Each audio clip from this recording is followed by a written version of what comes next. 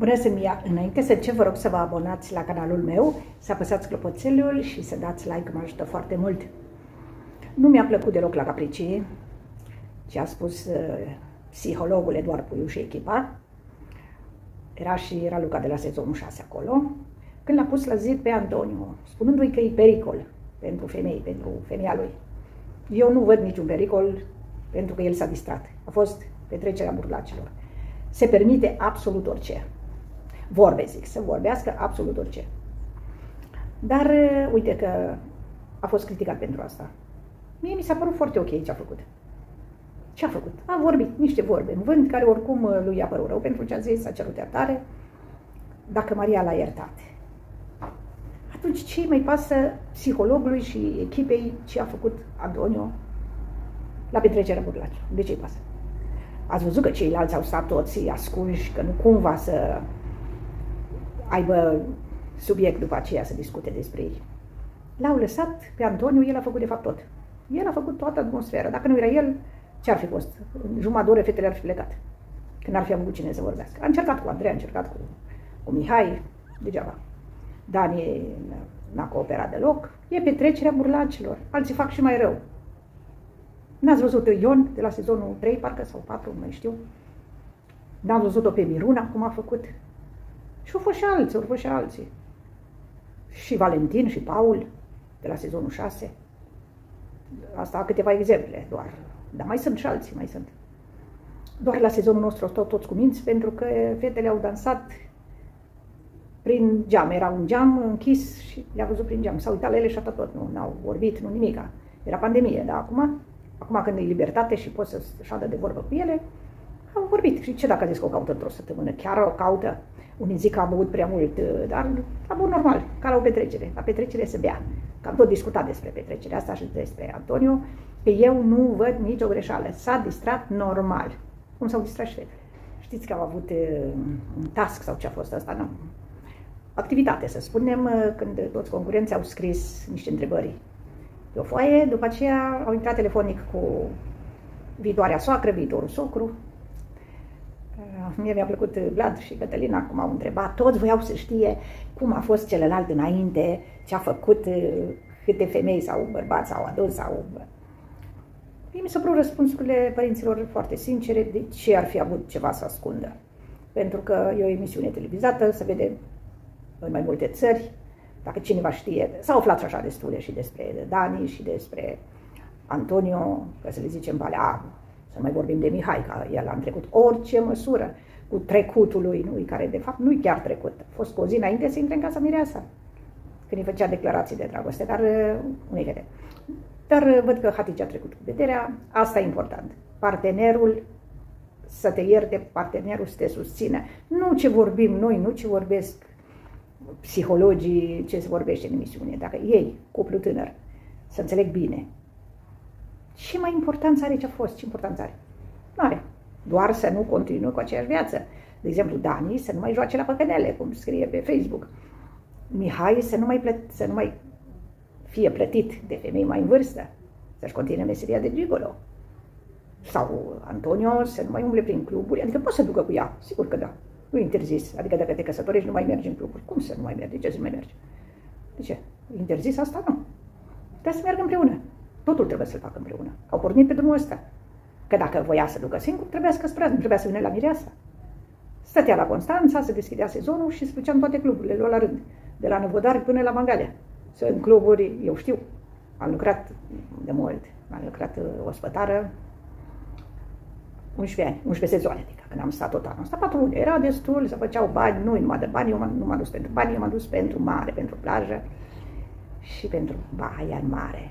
Era frumos atunci, era curată Marea Neagră. Iar acolo, la întâlnirea lor fantastică, era undeva în parcul acela, era o canapea foarte mare ca un pat, au stat acolo, au vorbit foarte serios, el zicea că îi place de ea, că știe ce vrea, că are un caracter puternic, el o admiră, să știți.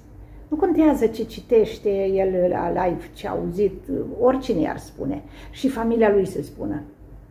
Pe el nu-l interesează, pe el interesează decât ea, așa cum e. Nu e asta important? Dacă el e fericit, ce trebuie noi să criticăm?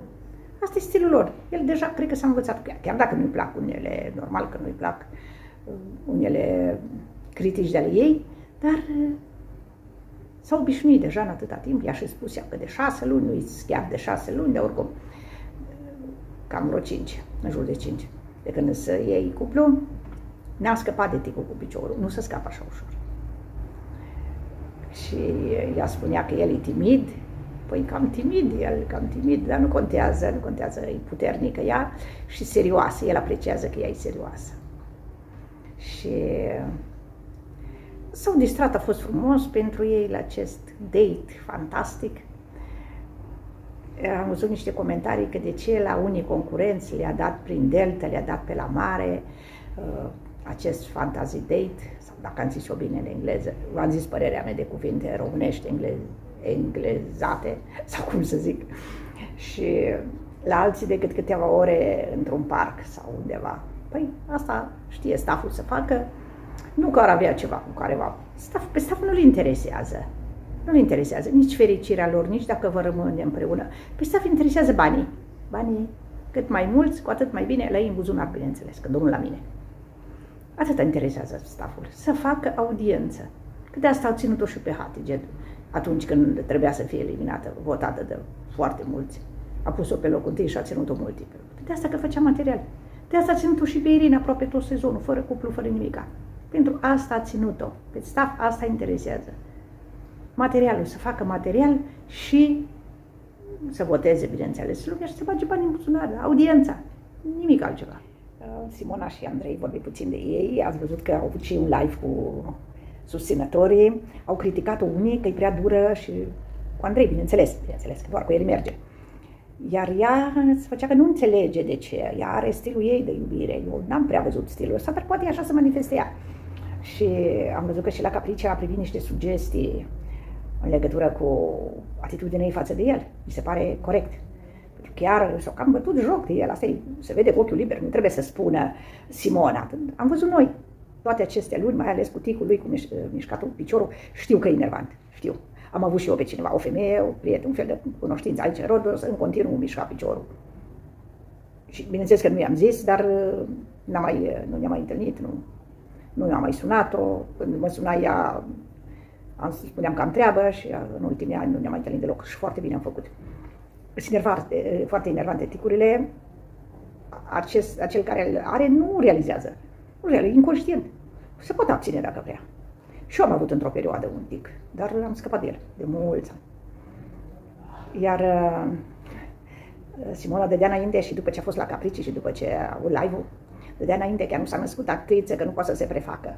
Păi bun, nu poți, una e să nu te prefaci, apreciez asta că nu s-a prefăcut, dar să-l critici în fiecare zi și nu o singură dată, asta nu e mai vorba de prefăcut.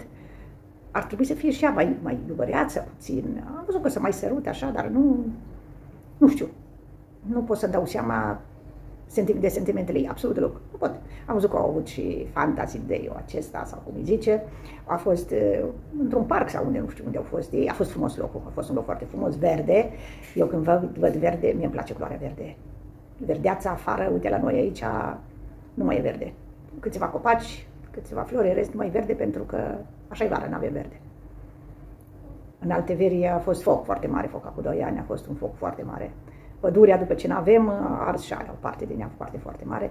Deci mi dor de verde. Am văzut că în fiecare zi concurenții, aproape în fiecare zi concurenții repete dansul mirilor, mai vei și aia când el îi pupă mâna și să o ia în brațuri, ridică frumos, este foarte frumos. Coregrafa, tot respectul pentru ea, e extraordinară. Am văzut că Andrei, Andrei, Andrei are probleme, cu toate că el e foarte neliniștit, așa, agitat, când e vorba de dans, are două picioare stânci, dar văzut că în bucătărie a exersat puțin și chiar s-a descurcat foarte bine, s-a uitat toți la el, m-am uitat și eu, mi-a plăcut, mi-a plăcut. Vreau să-i văd luni la gală, gala, ultima gală, la căsătorie, când ori dansa pe bune, în fața întregii lumii și familiilor lor mai întâi, care o să fie acolo prin, printre telespectatori, în, în platou o să fie, bineînțeles. Chiar vreau să-i văd, chiar vreau să-i văd. Și Dani cu Diana au avut și încă nu am informații, fantazii de eu acesta, întâlnirea asta fantastică, încă nu știu unde au plecat, nu știu nimic despre ei, dar o să aflu, o să aflu, s-ar putea să zică chiar în emisiune, nu știu încă, nu știu dacă s-au întors, O să aflu, o să aflu, bineînțeles, eu aflu tot. Și, uh, uh, uh, cum să zic, uh, Simona Gherghe, așa? Simona Gherghe a anunțat sezonul 8, începând 28 august, se numește Iubire Infinită. Până acum n-a prea nimerit ea cu iubire de film sau cum îi mai zicea la astea, nu prea fost, mai ales la sezonul 6, eșec total, eșec total, primii doi clasați despărțiți. Raluca ce mai e căsătorită din sezonul 6, care mai este? Raluca, am impresie. Dintre cei care s-au căsătorit, zic. Nu, în rest mai nici care. Paul s-a despărțit, primii s-au despărțit câștigătorii, da. Dar ăsta e farmecul concursului. Că dacă ar sta toți împreună, parcă n-ar fi chiar așa palpitant, nu? Cam atât am avut pentru azi. Vă rog să vă abonați la canalul meu, apăsați clopoțelul și dați like. La revedere!